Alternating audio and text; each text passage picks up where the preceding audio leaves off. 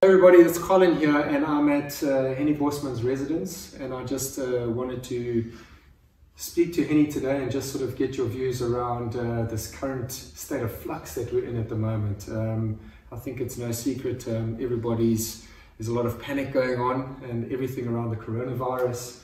Um, Sunday we had an announcement from our president and um, I think on Monday you got notice from uh, Western Cape uh, Sports Department that everything needs to cease um, all training, all clubs and activities. And um, I really just wanted to come and like get your view in terms of what are you doing as a business? How's this impacting your business? And um, you know, how do you carry on doing business in these really uncertain times where everybody's panicking?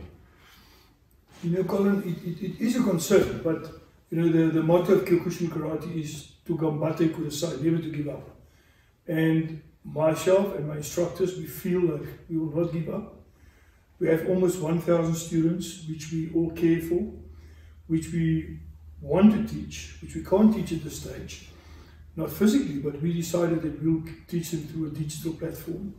We will put um, training videos together, tips together, and also use this time to, to, to teach them other stuff of martial arts which they're not aware of.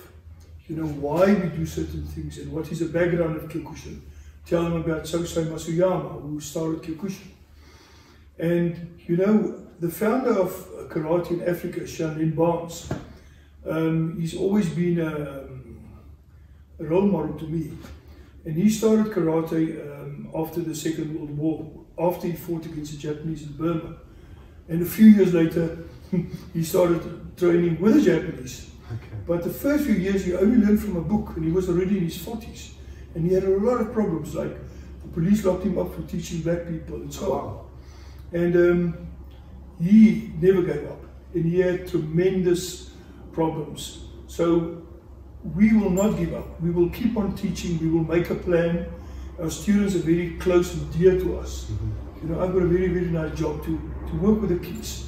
And um, every little kid is important. And we try to be role models to them, to teach them prepare them for the, for the future and uh, to teach them to be strong, not to give up, to persevere. And um, fitness is important for health, so we don't want them to stop training. You know, our kids are, are really, some of the six, seven year olds, they can do a lot of exercises, they're strong, they're supple.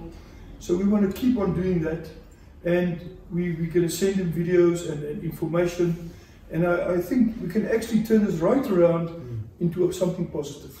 Hennie, I think exactly that. And I mean, I must be honest with you, when I got the news on, when I say not got the news, when I watched the news and the president's announcement on Sunday, I really just, I started to say, well, is this the beginning of the end? And I mean, I know that sounds quite dramatic, but you know, at the end of the day, you look at all the small businesses and we're all in this together. Uh, we're all in the same situation, but the truth be told is that small business and even large business for that matter, I mean airlines and all that, they're all going to feel the impact of it. But I think what was really, really promising for me is I went down to your dojo today just to try and get a temperature of what the guys are doing, not so much what they're doing, but just what the mood was like. And I'll be honest with you, I was pleasantly surprised. I walked in there and you've got all your instructors. Every single one of them had smiles on their faces and every single one of them was involved in some way, shape, or form in terms of doing something positive. So, what I witnessed firsthand is people using their phones for the first time, not looking at social media, but filming and actually getting tutorials and videos out and having a lot of fun doing it. So, to me, it was quite, it was refreshing.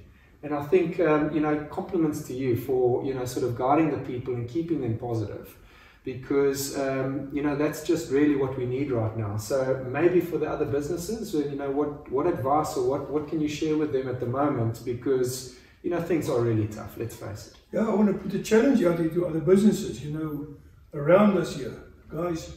Find solutions to your problem. Don't look at the problem, find a solution. Mm -hmm. You know, everybody still needs to eat and drink and, and, and, and travel to a certain extent, maybe not with aeroplanes now. But you know, the, the cell phone has always been a concern to me because as young students, they sit on their phone so much.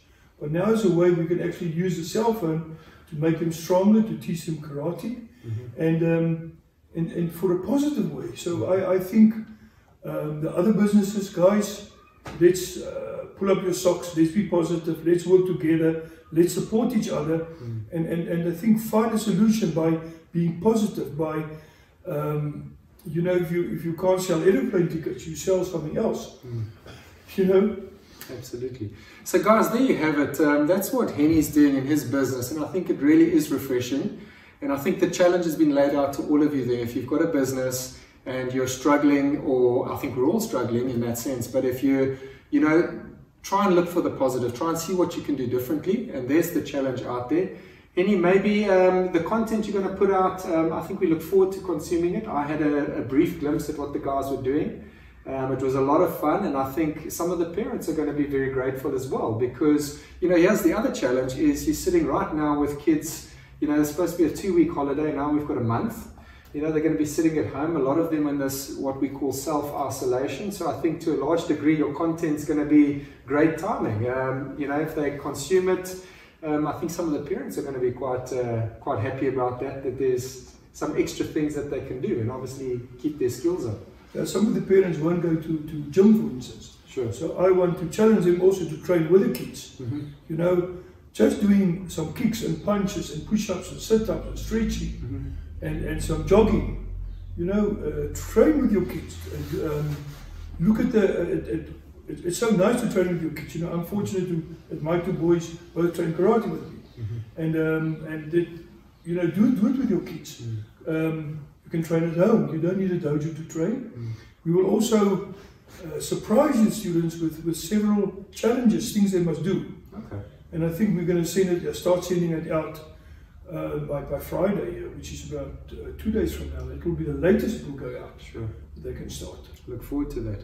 So, guys, that's it. Uh, thanks so much for your time, Hennie. I think just the passing comment from me out there is that uh, just in terms of my dealings with businesses out there, I want to sort of encourage all consumers, you know, people where you're consuming a service and uh, your service has been interrupted in whatever way, shape, or form. Um, if you're on a membership or you're on a subscription service, just uh, think about the businesses behind, you know, who are delivering that service who don't have the ability to do it if you can afford it, um, keep paying your membership fees, whatever it is, or your subscriptions, or supporting businesses in other ways. I think that's the message out there because this is a challenge and it's a challenge for everyone. Um, I think uh, we just don't want to see, you know, small businesses. We want to see communities get broken apart um, because they've had to close down. So that's the message. Hennie, thanks for the the, the, the ray of hope and the, the positivity in a, a, situation that uh, a lot of people are thinking it's quite dire. Thanks very much. Yes, you know, Kyokushinkan has been on, on, that corner here in Jebde Jager for 40 years. And we will do our utmost that is there for at least another 40 years. Fantastic.